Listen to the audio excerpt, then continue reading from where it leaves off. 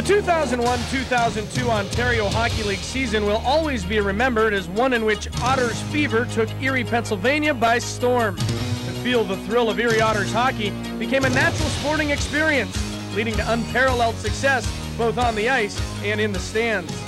As is the case of any franchise on an upward swing, the Otters opened the 2001-2002 season with increased expectations.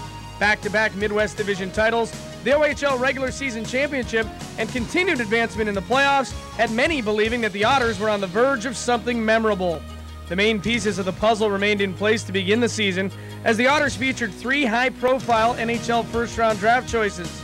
During the 2001 NHL entry draft, the Toronto Maple Leafs added defenseman Carlo Colaiacovo to their stable of prospects, and Adam Munro was selected by the Chicago Blackhawks to stretch the Otters' streak of first-round success to five straight years.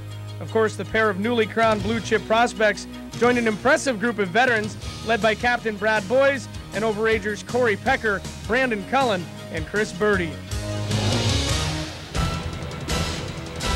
While the picture of success was taking shape, it would take some tinkering by managing partner and general manager Sherry Bassin and the guidance of veteran head coach Dave MacQueen and assistant Peter Sidorkiewicz before the complete image would reveal its brilliant clarity. Early season deals saw veterans Chris Eade, Mike Rice, and TJ Aceti arrive to fill the voids detected in the lineup during the opening month of the season. You know, we lost uh, a lot of guys this year, and you know we're going to be counting on them to chip in here, and uh, they're off to a good start right now, so hopefully they can continue. The results through the first three months of the season were mixed, with injuries resulting in some devastating holes. Adam Munro was lost to the team for a month in late October with a hamstring injury. A week later, Cory Pecker broke his wrist in a goalmouth collision in Belleville. Despite the losses, the Otters continue to plug along on the positive side of 500, hovering in the middle of the pack in the Western Conference, thanks to a run of success between the pipes by TJ Aceti and the emergence of some of the Otters' younger players. And while they had difficulty rediscovering their home ice dominance of the 2000 2001 season, they were almost unstoppable on the road, winning a franchise record eight straight through October and November. During the road winning streak, Brad Boyes took the first step toward his eventual dominance of the Otters' all time scoring records when he netted his 118th career goal to pass Shane Nash as the all time leading goal scorer in franchise history. However, the franchise records for assists and points would have to wait. Adding insult to the injury list with the announcement midway through November that the Otters captain would be sidelined as well, out indefinitely with mononucleosis. Because we got Boyes and Pecker out of lineup, does it mean they, they they forget how to play our system? Is that what it means? No. Get three, two guys, three guys out of our lineup. They can still play a system. We look like a Pee Wee hockey team, and then they quit. They just bottom line quit. Finally, some good news arrived with December, which marked the return of sniper Cory Pecker and the beginning of the most exhilarating goal scoring display in Otters history. The veteran forward returned with an eye on resuming his now unlikely quest for a 50 goal season and would need to average nearly a goal per game to reach the milestone. Pecker's return coincided with the departure of Brad Boyes and Carlo Colaiacovo to the Canadian national team for the World Junior Hockey Championships in the Czech Republic. Boyes made the team after recovering from mono, while Colaiacovo outbattled a handful of defenders for one of only two spots available on what would turn out to be a silver medal winning Canadian blue line. The new year marked the return of Boyes and Colaiacovo and the continued exploits of Pecker, who greeted 2002 with his second eight-game goal-scoring streak of the season. The 12-goal outburst rekindles Pecker's hopes of a 50-goal campaign.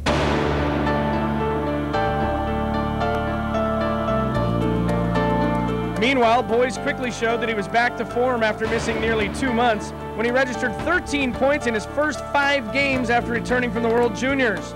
Included in the stretch was the captain's 147th assist and 264th point, both new franchise career marks.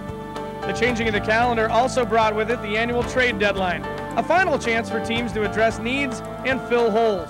As has been the case in previous seasons, Sherry Bassin and his scouting staff went to work and pulled off a last minute transaction that brought forward Jeff Doyle to Erie from the North Bay Centennials come to a team like this, you know, you're going to have fun uh, winning games. You know, nothing's more fun than winning a game as a team. And uh... with January out of the way and the announcement that Guelph had won the right to host the 2002 Mastercard Memorial Cup, it was time for the Otters to concentrate on the stretch run toward the postseason.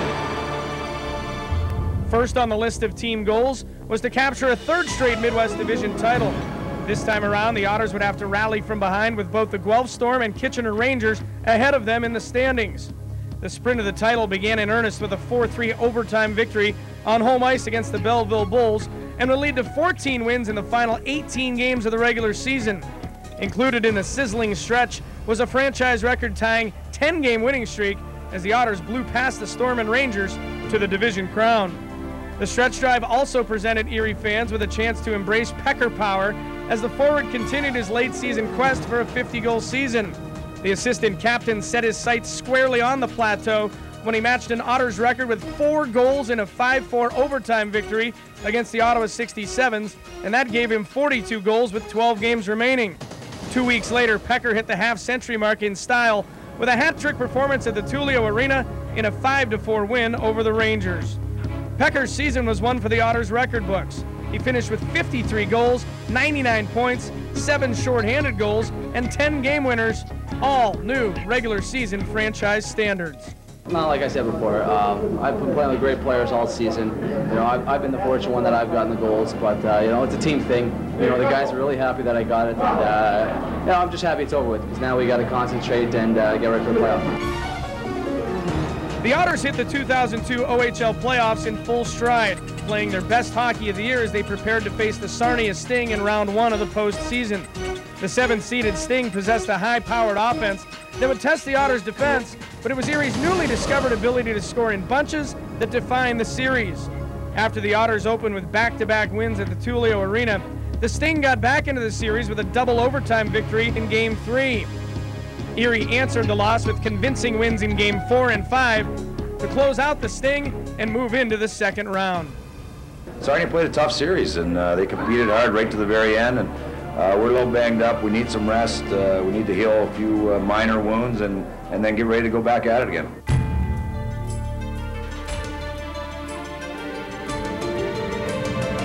One of the biggest first round upsets in recent OHL history delivered the London Knights as second round opponents for the Otters. The Knights took out the top seeded Plymouth Whalers in the opening round to set up a familiar playoff matchup as the two teams would meet for the third time in six seasons. After dropping game one of the best of seven series, the Otters rallied for two straight wins to grab the series lead. Controversy reared its ugly head in game four as Brad Boyes delivered what appeared to be the go ahead goal in the third period, only to have it disallowed. The Knights took advantage of the decision and struck five minutes into overtime to even the series at two. An 8 1 win in Game 5 that featured an Otters playoff record four goal performance by Boyes, and the first Tullio Arena sellout of the playoff year gave the Otters the upper hand in the series that was finally decided by Carlo Colaiacovo's dramatic overtime and series winning goal in Game 6 at the London Ice House. Here go the Otters up ice four on two. Colaiacovo onto the wing to Rice. Here's Rice to the front of the net, The deflected, scores!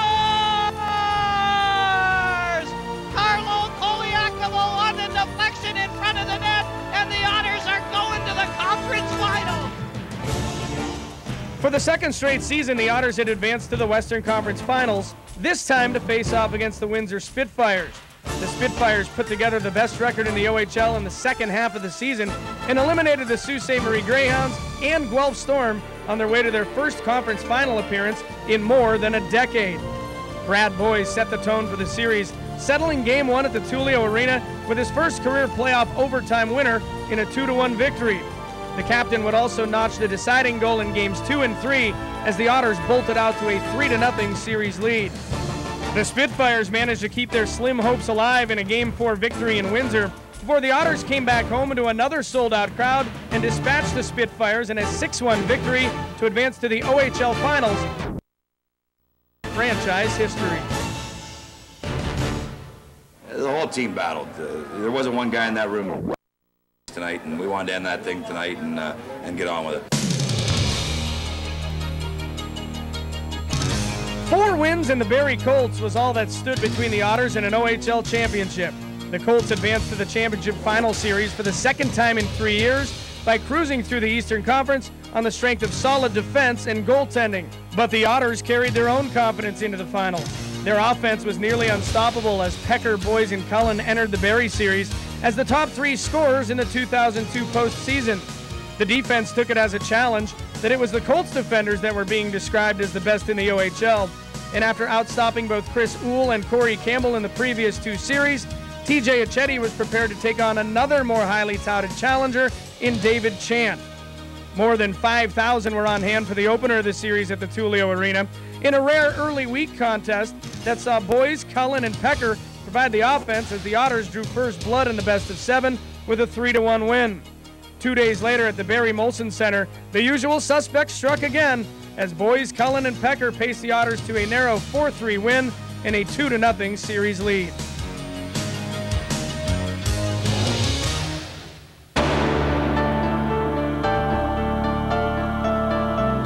The largest crowd in Erie hockey history welcomed the Otters back to the Tullio Arena for Game 3 as the team attempted to duplicate their success in the Western Conference Finals and move within a game of the OHL Championship. To no one's surprise, the Boyes in Pecker show continued as they both collected a pair of goals in leading to a convincing 4-1 victory and a commanding 3-0 series lead. The Colts finally solved the Otters' iron tough defense in Game 4 to extend their season with a 5-2 home ice victory, setting the stage for a return to hockey mad Erie. Game 5 proved beyond a doubt that Otter fever had totally engulfed Erie. The contest sold out in just over an hour, and nearly 5,600 packed the Tullio Arena, anticipating something special. Cory Pecker extended his goal scoring streak to six games with his 25th goal of the playoffs to open the scoring before the Colts evened the count by the end of the opening period. The two teams battled through the second and third periods, unable to solve the 1 1 tie, as TJ Aceti and David Chant took their turns thwarting chance after chance.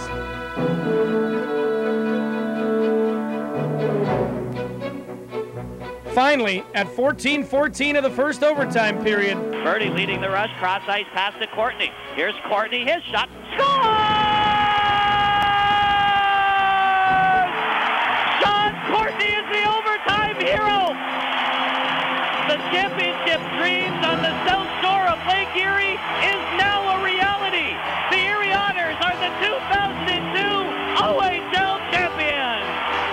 Sean Courtney's shot from the right-hand boards made Erie hockey history.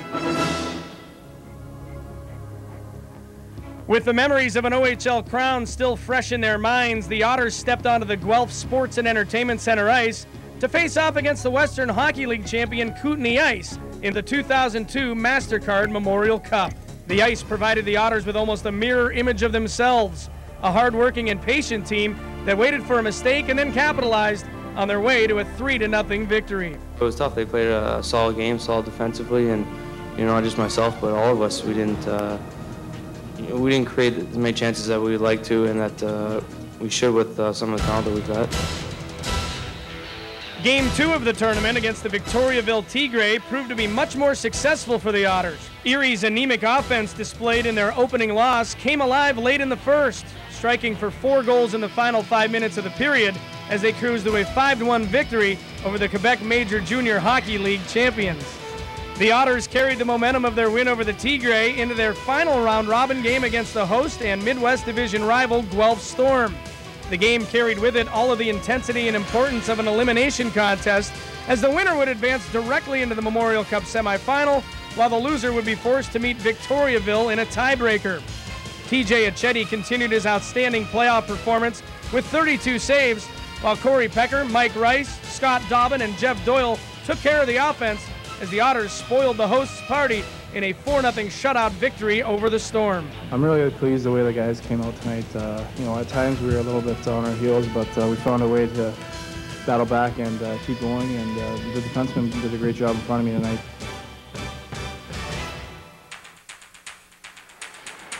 The Otters would see their dream season come to an end two days later in a rematch against Victoriaville in the Memorial Cup semifinals.